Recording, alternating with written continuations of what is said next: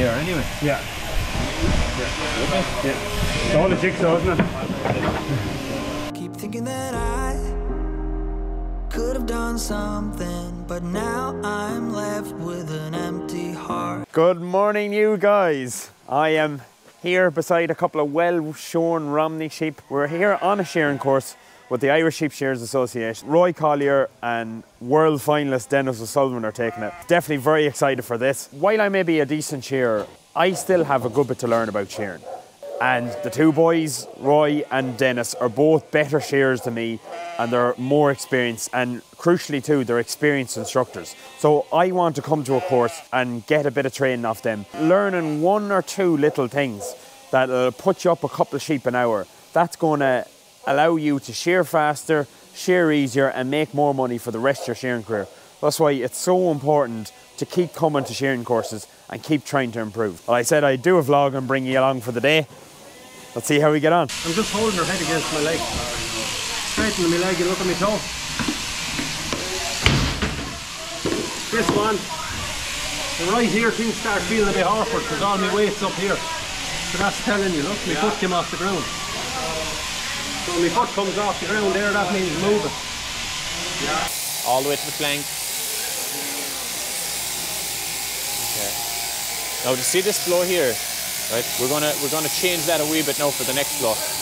When you come out here to the start with your hand piece, Yeah. I know you're normally starting here. Yeah. I want you to start there. Right. Just push the top tooth just to the line where there's where the wool has been taken off the last time, and down. Yeah. And do the same now. This one. Whoa, see the way you, you're automatically wanting to start here. Right, you want to start down lower. Always just about that top tooth. You should just about see that every time, and that's your guide to say you're full. Okay. And now let her head fall through this way. Yeah. A wee step further back now with your right leg. Bring the sheep with you. That's not too bad now. You're getting there. That's fair enough. Perfect. So two short blows across her belly now. Uh, That's down. We'll try and go across this way. Yeah. So one, two. have to like the thing is you have to remember like if a sheep if a sheep is anyway wrinkled look and if you come in this way you're slicing them wrinkles then whereas if you come that's the sheep and if you come across the wrinkles safe but if you're coming down like this you're gonna cut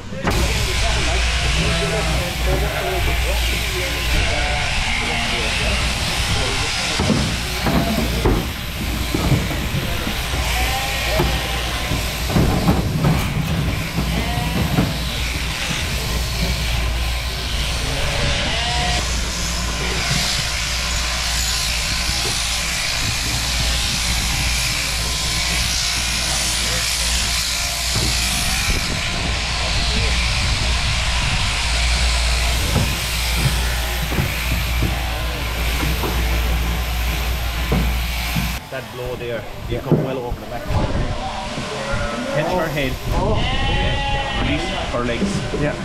jack her up high like that high as you can High as you can. Yeah. and keep her Don't do that. I kind of just put her in at my knees there. You Don't. want to put that blow down like that. Instead of this one coming across, you're kind of come down over the shoulder. Yeah.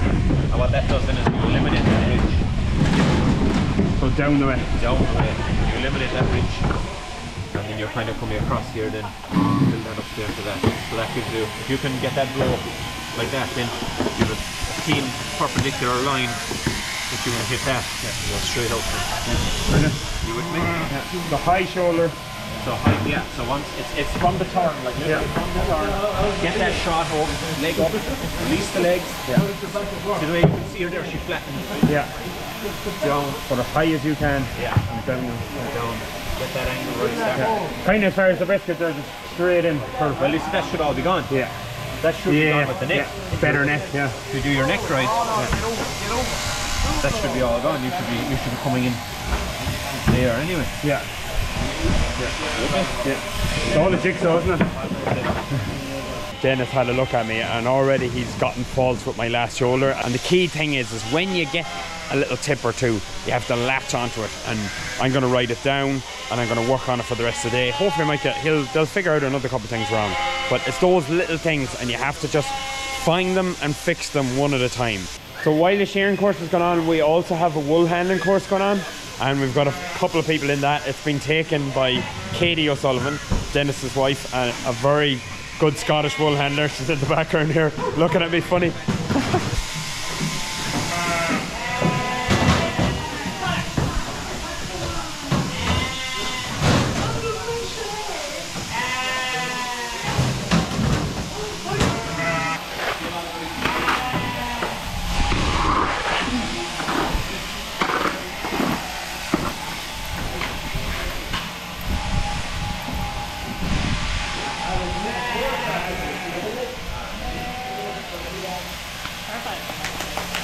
Put your hands up in the air.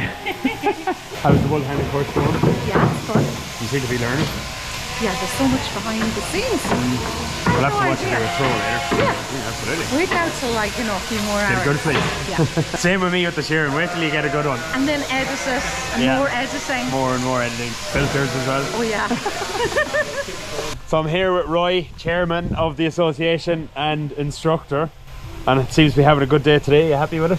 Yeah, we're going well. We've, Yeah. a, we've a nice turnout and um, varying levels of ability, but uh, big improvements this morning. Big improvements this morning. I think so. How important is it for young shearers and shearers of any age to go to courses? Uh, I'm at it a long time and I'm still learning, and that's the secret with the game. No matter how long you're in it, there's always more you can learn. Some little trick, some little tweak. People would be commenting on my videos to be surprised, or even farmers would be surprised to hear me go to a course.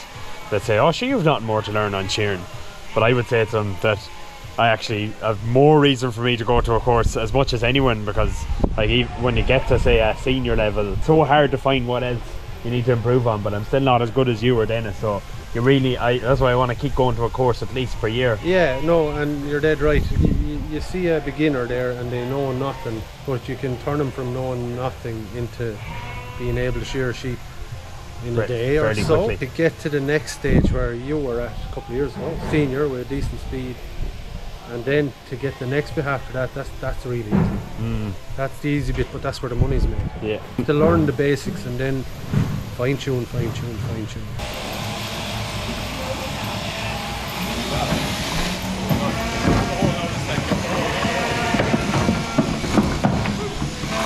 Beautiful.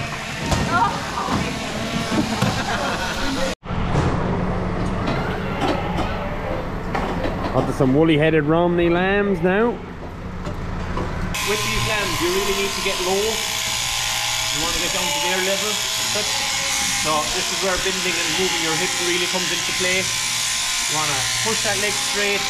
Start with the top tooth at the start of, of the sock. And you're coming in right to the flank. So right from there, right in. Up to yourselves, guys. Some people will follow through with that flow, so they'll start here and they'll follow right through. That's completely up to yourself. That's personal preference. If you want to do that, all well and good. So you're working your belly down, clean off here, clean way out into the crutch, out. And get low to that lamb. So either pull, push it to the flank again, or push it all the way, depending on what you want.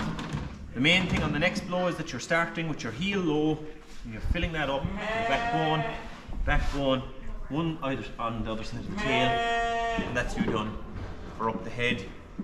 Clean off the head, roll her up, clean off that section, straight up under the neck, cheek blow, that shoulder blow, sheep pops out, blow to the sheep.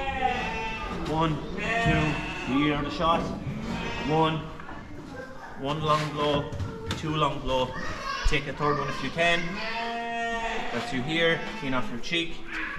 Let the sheep's legs go. Down, over the shoulder, in the knees, down. That makes the sheep smaller. Stretch her out. One, two, three. That should be you. Okay? With me? Main thing is, guys, just be conscious of those hamstrings. Stay away from them if you can at all.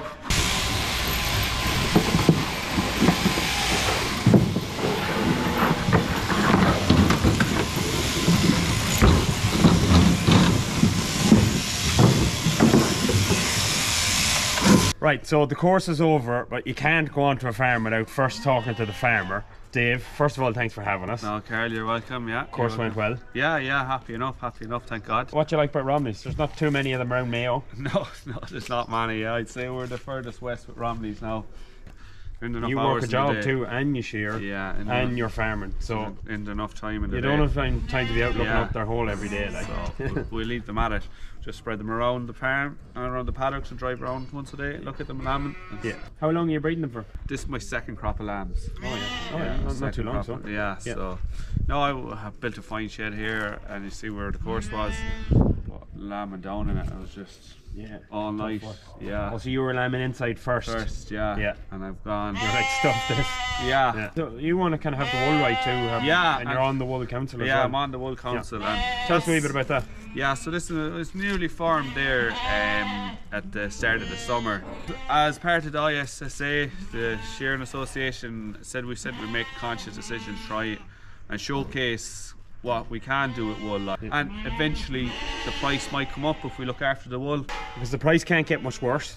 No, So we're thinking if we can, like the Wool Council was set up earlier in the year, and there's a few different stakeholders. IFA are involved. But the thing Everyone is, has the same goal. They want to improve everyone the price of wool everyone thinks it can't get any better or it can't get any worse, but can actually get worse. Yeah, we'll have to pay. To We'd have to away. pay to get rid of it because Yeah. it's actually classified as a category three waste product at the moment, and that's one of our main goals as uh, the Irish Wool Council try and see can that be um, removed. Put in the work and look forward and That's try, it, like yeah. try and and get from A to B. everyone thinks it's going to be done overnight, and sure, nothing's done overnight. So it's just, yeah, we're going to have to work a bit. you Yeah, know. brilliant, good stuff. Uh, Karol, thanks for coming. We appreciate you Awesome. coming down. Hope you enjoyed the vlog. See you for the next one.